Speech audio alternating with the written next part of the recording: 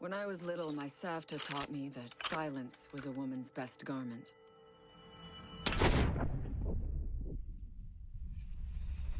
But I have to admit, I never really took her advice to heart.